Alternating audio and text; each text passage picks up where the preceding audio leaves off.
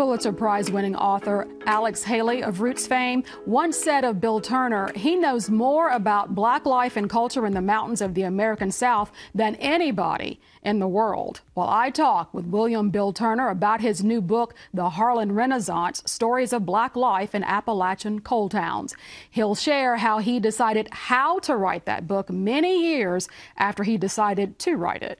So once we know what happened, to the people of Harlan County, all of the people of Harlan County, the evolution of that place, for example. And by Harlan, I'm not just referring to that county, but almost a 100 mile radius that extends into a place I call West Kentucky, mm-hmm. because it takes in West Virginia, Southwest Virginia, and Eastern Kentucky.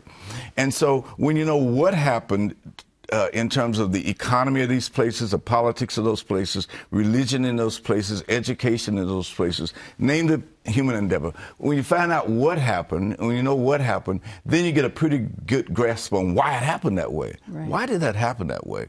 So that we don't find ourselves in a place where we're repeating that old statement that says, if you don't know what happened, if you don't acknowledge what happened, you're subject to repeat it.